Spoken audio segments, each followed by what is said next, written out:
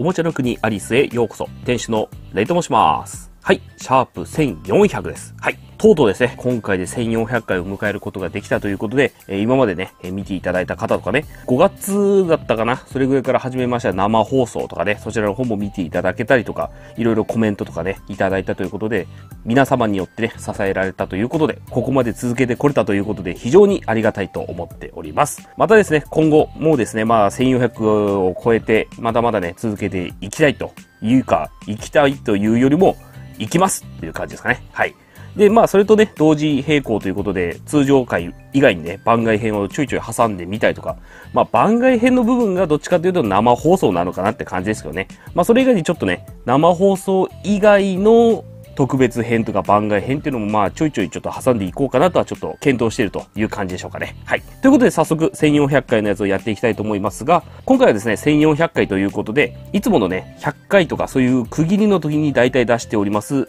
あるキャラクターですね。そちらをちょっとやっていきたいと思います。それがこちら。じゃんと。はい。えーこちらですね、 figma のナンバー SP045 レーシングミク2012バージョンですね。はい。こちらをね、今回やっていきたいと思います。前に紹介しましたシャープ1300の時には2011バージョンだったんで、まあ、これからちょいちょい一個ずつ新しいのが出てくという形になってくるのかなと思っております。まあ、それ以外にね、別なバージョンが出たりすると、まあ、それが挟まったりとかね、あとちょっと気になるような固定フィギュアバージョンが出たりとかね、そういうのもちょっとやっていきたいと思っておりますが、一応今回はこれをね、やっていきたいと思います。で、これ見てわかる通り、通常番号ではないっていうのと、一般販売ではありません。こちらに関しては、いつもね、レーシングミクのスポンサーですね。こちらになると、まあ一応購入するっていうかね、入手することができるものとなっております。一応一番下のコースをいつもやってるんですけどね、それ以外に一番高いやつで5万円のコースとかもありますけど、まあ、 figma のパターンと、ネンドロイドのパターンっていうのがあるんで、まあ、基本私は figma のパターンしか言ってないんでね、まあ、こちらを今回やっていきたいと思います。で、パッケージはいつものパターンと同じですね。ただ、200番以前のものになってるんで、ここの部分がちょっとね、いつものパターンとは違うという、ちょっと古いタイプ。まあ、2012なんでね、動画の公開から考えても、6年前という形になってるね、結構古いタイプという風になっております。一応、表面としてはこんな感じ。まあ、ここに収まっている2012バージョンのレーシングミク。こちらにフラッグと公開の表情パーツと奥の方にパラソルですね。これがあるという形になっております。で、側面がこうですよ。で、裏がこうですよ。で、まあ一応こういう風に持たせることができるとか、こちらですね。シャンパンボトル。えーこちらに関しては、ここのところに入ってるんですけど、このブシューと出てるエフェクトパーツは別に入ってるという感じでしょうかね。はい。一応こんな感じです。で、反対側がさらにこんな感じになってて、上と下という形になっております。はい。で、まあ、ここを見ていただくと分かる通り、まあ、ここにね、グッドスマイルレーシングということで、まあ、これもちょっと特別な感じが出てるのかなという感じでしょうかね。はい。では、えー上ですね。ここから開けていきたいと思います。では、レッツ、オープンはい、箱から出したのがこの状態となります。レーシングミク2012バージョンがこちらに入ってて、公開の表情パーツ、そしてボトルですね。そしてフラッグ。で、下のところに収納袋と、いつもの台座といつもの支柱、そして説明書と公開の手首パーツという形で入っていると思います。で、裏のところに、一応これテープで止まってますね。えーここのところに今パラソルが入ってますよと。で、これが閉じた状態、開いた時用のパーツと、これですね、ボトルからのブシュッとやつですね。そちらがここに入ってますよと。で、それ以外に、まあ、いつものパターンとしまして、これですね。まあ、中台地のところにこう光の反射でわかると思いますが、こちら点線ですね。これを切り取ることによって、別売りの D ステージ用のカバースキンという風になっております。ただですね、こちらに関してはもうかなり限定されてるものっていうかね、限定ものになっちゃってるんで、あまり使うことはないかなって感じですけど、こういう風にいつもの仕様のものはちゃんとついてきてるという形ですね。で、D ステージ自体は今現在はね、生産しておりませんので、入手する方法としてはやっぱり中古、またはオークションという形になると思います。で、それ以外だと、ベースだけなら、アイドルマスターシリーズの響き、千早、ミキ。これに確かベース入ってるやつですね。で、フルセットで考えると、初音ミクライブステージバージョンっていうのがあるんで、まあそちらちょっと入手していただくと、まあなんとなくこんなもんかなっていうのが分かっていただけると思います。それ以外に D ステージのね、動画の方もやっておりますので、ちょっとそちらもチェックしていただいて、あ、これいいかなと思ったらちょっと探していただくという形になるかなというふうに思っております。で、それ以外に、バンと。一応シールっていうのがこうやって入ってまして、これ、ここに書いてある通り、Figma レーシングミク2012バージョン傘用のシールということで、このパラソルですね、ここのところに貼り付けるシールがこうやってついてきてますよと。まあ、一応今回貼らないんで、そのまま、こちらのね、スタンダードなやつになると思いますけど、まあ、これをね、貼り付けることもできますよというふうに載っております。これに関しては多分説明書の方にしっかり、まあ、書いていてくれるかなと思っております。はい。ということで、こちらですね、このケースから出してパーツ意識全部ざっと準備していきたいと思います。はい、パーツ意識準備できました。いつものベースといつもの支柱、公開の手首パーツと公開の表情パーツ、フラッグと傘ですね。で、開いてるやつ用と閉じてるやつ。これがボトルですね。で、こちらが先端のブシューってやつですね。はい。そして、レーシングミク2012バージョンという風に置いてあります。で、説明書の方がボーンとこうやってありまして、えー、こちらですね、まあ、 figma レーシングミク2012バージョン。で、一応こちらなんですけど、こういう風に開いていくと反対側がこうなってて、交換の表情パーツ、手首パーツ、中を見ていくと、こちらのところにパラソルの使い方とかね、シールの貼り位置みたいなこういう風に書いてますよと。で、一応2枚だけ貼り付けて、残り2枚は予備みたいな、そんな感じになってますね。で、スプラッシュエフェクトパーツの付け方ってことで、まあ先端のところで刺せば OK ですよって書いてますけど、えー、一応こちらを見ていただくとね、このセット内容ってやつですね。フィギュア本体手首パーツ、えー、シャンパンボトル、RQ、レースクイーンパラソル、貝とレースクイーンパラソル用シール、そして台座本体収納袋という風にこういう風に名前が全部載ってるこのセット内容ってやつですね。新しくなってしまった説明書の方では、この部分がバッサリカットになって写真が全部載ってるだけということになってるんで、名称としてはこれは何なんだいと。これ傘だよねってなるんですけど、一応説明書の方ではこちらは RQ パラソル、兵、まあ閉じるですね。なのでこれはレースクイーンパラソルなんだよっていう風に、そういう風に正規の名前みたいなやつがちゃんとこっちのセット内容に載ってるっていうのはかなりいいポイントなんですよね。それがもう今の新しいやつでは全部カットになっちゃってるんで、これもう一回復活してほしいかなと。まあ最悪こういう風にね、表情パーツのところにこういう風に公開用顔、一種みたいな感じで、こういう風にもう一個で字を乗っけてほしいかなって感じがちょっとあるんですけどね。はい。まあ一応こんな感じの説明書がついてきております。ということで、パーツ意識とりあえず手前の方にざっと寄せちゃいまして、これから先にね、レーシングミク2012いじっていきたいと思いますが、最初に、まず支柱ですね。これ旧タイプになっておりますんで、これを見ていただくと、こっちにも曲がって、反対にも曲がるっていう、こういう仕様になってるやつなので、新しいやつに慣れてると、ちょっと使い勝手が悪いかなという感じかな。あとこちら、油かなんかが多分ついてたと思うんですけど、それがだいぶ劣化してくすんでたりするんで、ちょっとその点もちょっと気になるポイントかなと。で、状況によってはこのネジの部分が錆びてる可能性もあるんで、そこもちょっと気になるポイントになるかもしれませんが、まあ一応こういうものもちゃんとついてきてるという形になっております。では、早速、こちらですね。よっこらしょいと。レーシングミーク2012バージョン。こちらを見ていきたいと思います。では、この状態でぐるり回すとこういう感じですねと。ぐるり回すとこういう形に仕上がってますよと。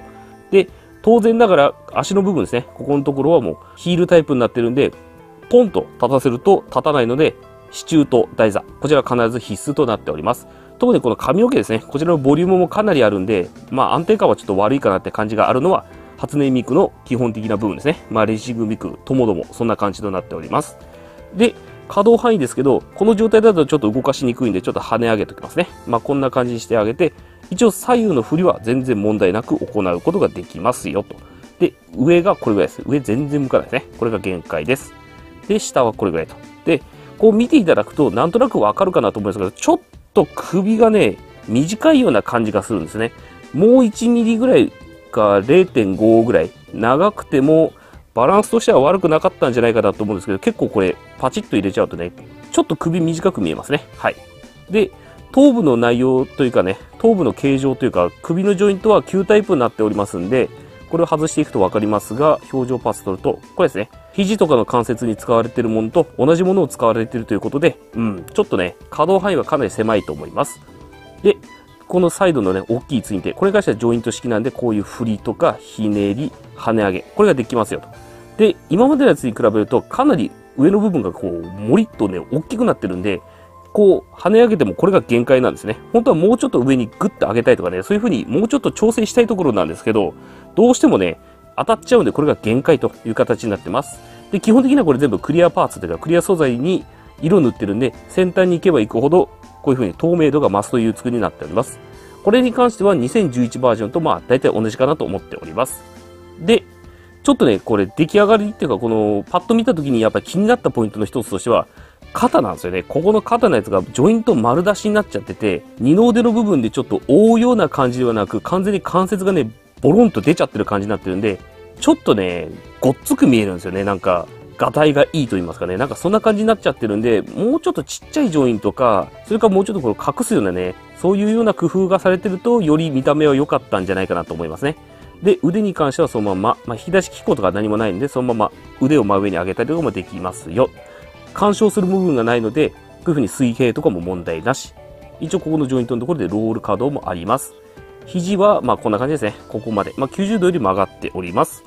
で、手首は従来のパターンといいますか、旧タイプになっておりますので、ここのところは軸接続ですと。はい。まあ手首側に軸があるんで、ここのところでこう刺してあげると、この奥手前ですね。これしかないですよ。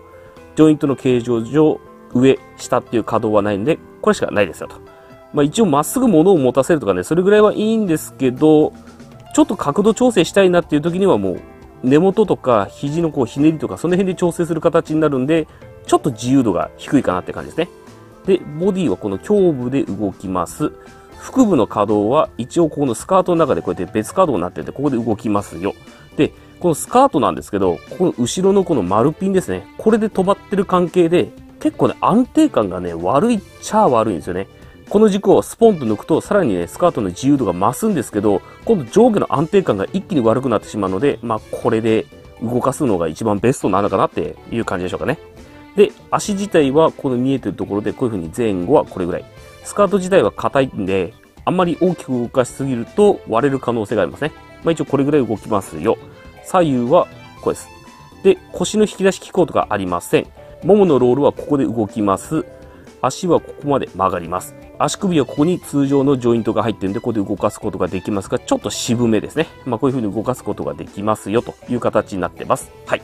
まあ基本的な可動範囲はこんな感じですね。まあ従来のものと大体変わらずっていう感じですかね。ただ若干首が埋まってる感じかなっていうのと、ツインテのボリュームの関係で、可動域が少しね、制限されてますけど、まあ、おおむね良好なんではないでしょうかね。はい。一応こんな感じですよ。で、先ほどちょっとスカートのピンって言ったところですね。ここのところに穴があるんで、ここに対して、支柱ですね。これを差し込んで取り付けてあげますよと。そしてこの先端部分に台座パーツを用意して、まあいつもの通りドンと差し込んであげれば OK ですと。で、これ付けました。もう状況によってはちょっと角度的に、まあ、問題はないんですけど、これ、今までのやつに比べるとちょっと身長が低めなので、地面につかないかなって一瞬思ったんですけど、とりあえず問題はなさそうですね。そう考えるとやっぱり最新式のやつだともっとこっち側にギュッと潰せるんでね。そう考えるとそっちの方がいい感じもしますけど、まあこれで立ったからはとりあえず問題ないかなと。基本的には足の部分がやっぱりね、ヒールタイプなんで、台座は必須という感じですけど、まあ、こんな感じで立たせることができますよと。はい。ではですね、表情パーツの交換の方に行きたいと思いますが、表情パーツはこちらの1種類のみという風になっております。で、まあ、前髪のところね、先ほどちょっとやりましたけど、外しまして、表情パーツを取りますよ。そして、後継の表情パーツを差し込んで取り付けて、前髪を差し替えることによって、こういう感じに表情パーツを交換することができると。まあ、こっちが最初のね、スタンダードになっててもいいかなと。で、こっちを交換表情パーツみたいな感じで使ってもいいかなと。ただですね、こちらも今書いた表情パーツも同じく左目線しかないんですよね。若干左目線って感じなんで、やっぱり正面の目線の真顔っていうのがやっぱり一個欲しかったかなっていう感じがちょっとありますね。どうしてもやっぱり使い勝手がね、微妙に悪いっちゃ悪いんで、うん、表情パーツはスタンダードな真顔1個プラスちょっと特殊な感じっていうのがこう追加になるような感じになってた方が遊びやすいんじゃないかなという感じですかね。はい。で、付属品のフラッグとか、パラソルとかね、その辺をちょっと持たせていきたいと思いますが、手首パーツがこういう風にあって、指差しと平手と、これが多分ボトルを支えてるやつとかね、そういう感じだと思います。なので、こちらのボトルを持たせるときには、左手をここのところにま合わせるみたいな、そんな感じかな。その際結構奥までグッとね、しっかり入れるんですけど、多分穴がね、ちょっと縮んでたりする可能性があるので、そこをちょっと確認しながらぐっとね、押し込んであげて、まあ、こんな感じでつけることができると。そして、もう一個の平手ですね。これ右手の方なんですけど、これで底の部分をこういう風に持って、先端部分にエフェクトパーツであるこちらですね。これをブスッと差し込んであげて、持たせると、こう、ブシューっとこう出てるというね、この状態にすることができますよと。で、これ以外には、まあ、専用手首として、まあ、この方法でしか持たせることはないかなと。まあ、片手でこうやって持つことはあんまないような気しますけどね。まあ、一応こういう風に持たせるような専用手首みたいな感じでありますよと。で、こちらの手首に関しては、やっぱりここの金色の部分とかを強引にこう押し込む感じになるんで、色ハゲとかね、色移り、これだけちょっと注意が必要だと思います。特に長期持たせて飾るとなると、そこの部分をちょっと考えておかないと、色移りとかね、して、剥がした時というか、ポーズを解除した時にこっち側に傷がつく可能性があるんで、そこだけちょっと注意かなという感じですかね。そして、こちらのパラソル系。まあ、これに関してはまあ右手でもいいかなと思うんですけど、通に右手を一応用意して、ここのところに持たせると。で、これに関してもここのところでスポンと抜けて持つわけではなく、いつものパターンですね。先ほどのボトルと同じく強引にグイグイと持たせていきますよと。で、持たせるんですけど、ここですね、一応凹みが1、2箇所という風にありまして、変な持たせ方をすると、ここからパキッといっちゃうんで、一応力のかけ方ですね、そこだけ確認しておいた方がいいと思います。あらかじめちょっとグッとね、手の方を広げておいて、これから持たせるみたいなね、そういう風にしてあげたらいいかなと。こういう風に持たせることもできますし、あと、ここの上ですね、ここのところに平手で、まあ、これを使ってもいいかな。これを一応使って、こういう風にポンとやるとかね、そういう風に支えることもできるという形になっております。で、それ以外にフラッグの方と、あと、開いたパラソルですね。そちらの方をやっていきたいと思いますが、一応こちらの傘を持たせようとしてたこの右手をちょっと用意しまして、えー、腕ですね。腕ちょっと前出して手首パーツをここからスポンと抜きますよと。で、こちらをつけるんですけど、これつけるときに、きつい場合はこのまま強引にグッと入れてしまって、ひねると根元のこのジョイントぶっ壊します。壊さないためには一応軸を削るか、シリコンスプレーでちょっと緩くするとかね、ちょっと何かしらの対策をしておいた方がいいですね。一応こういう風に、まあ、公開用の手首パーツつけましたら、まあ、ここのところ普通にね、このフラッグをそのまま上からスポッと差し込んであげれば、こうやって保持させることができる。で、反対の手もやると、両手で持つこともできますよと。で、それ以外にポンとこれを抜きまして、もう一個の、これですね、柄の部分。これをつけていきたいと思いますが、先ほどの閉じたやつは、こっちから入れることができなかったんですけど、今度逆にね、この細い方からぐーっと入れてあげて、まあ、ここからグイグイっと入れてあげれば簡単に持たせることができると。まあ、とりあえずこれやる前に、一番最初にこちらをね、フラッグとか、もう一個のパラソル。あとは、ボトルですね。これを強引にちょっとやって、手をこう広げて癖つけておいた方がいいと思います。そしたらこちらね、持たせたところに、このパラソルのこいつをブスッと差し込んであげて、あとは本当はね、シール貼ってあげればいいんですけど、こういう風にすればパラソルを持たせることができると。で、これに関しても両手とかね、支えるための左手とか、そういうのをいろいろ組み合わせてあげるともっといい感じにできるんじゃないかなという風に思います。はい。で、あとちょっとパラソルに関してはちょっとシールがね、貼ってないんで、色合い的にはちょっと物足りないかもしれないですけど、まあざっくり持たせるとまあこんな感じで出来上がるという形になっております。一応ですね、2018年とか、今のところ長くね、レーシングミックシリーズもちょっと続いておりますので、今後もね、えー、引き続き、応援していきたいと思っておりますが、ちょっとね、今回のね、2018年のやつはですね、何かしらの影響があったのか、スポンサー以外でも普通にお店で買えそうなね、なんかちょっとそんな雰囲気もしてるんで、今後その展開をやられてしまうと、スポンサーとしてやる意味っていうのが果たしてあるのかなっていうふうにちょっと思ってしまうのでね、その方式ちょっと、まあやめてほしいかなっていう感じもありますけどね。まあ、すべての人にね、レーシングミクがちょっとね、簡単に手に入る方法があるっていうのはいいんですけどね、長年真面目にやってる身としてはちょっときついかなって感じがありますけど、物自体はね、いいんで、まあ、なんとも言えないって感じでしょうかね。はい。ということで一応ね、1400回の特別編みたいな感じで紹介していきました。こちらの Figma のレーシングミク2012。いかがだったでしょうかね。こちらに関しては一般販売ではなく、スポンサーということでね、かなり限られた方法にはなっておりますが、今だったらやっぱり中古ショップとかオークションとかになると思いますけどね。一応ちょっと気になった方はこれ見ていただいて買っていただいたらいいかなというふうに思いますね。まあ今後も新しく出たりとかね、古いやつ、そちらも、ま1400回以降のね、1500回とか1600回とかね、何かしらの方法でまた紹介していきたいと思っております。はい。ということで次回ですね。次回は前回の引き続きですね。2018年8月編の仮面ライダー電王の SIC 紹介。こちらのね、月末版ということで、一体をまた紹介していきたいと思います。はい。それではまた次回お会いしましょう。バーイ。